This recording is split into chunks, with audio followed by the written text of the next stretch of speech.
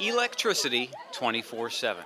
That's what everybody in Iraq wants. And Haditha Dam, in Iraq's western desert, is part of the solution and part of the problem.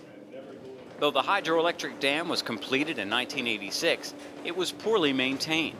On this day, the dam is only putting out 160 megawatts. That's 500 megawatts short of full capacity. The U.S. Army Corps of Engineers is leading major repairs on two of the dam's six turbine generators, but it has no control over the water level of the Euphrates River, which also impacts power output. Transmission is also an issue. In the belly of the dam, these 400 kilovolt lines to Al Anbar province are plugged in, but the line to Baghdad ends in a stub. Right now, power lines are being strung across the desert and may be ready by summer. Uh, we're putting in the um, 400 kilovolt lines uh, throughout the different regions of the country. I mean, it really needs that juice to be able to continue to grow and prosper.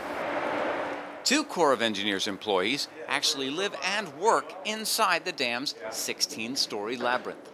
Bob McKechnie's focus is training the Iraqi workforce.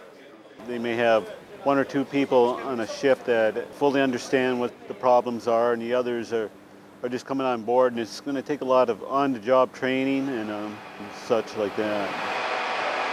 Most rewarding part is seeing that power getting out, seeing the lights on in the horizon. Um, yes, they do go out once in a while, but they come on faster.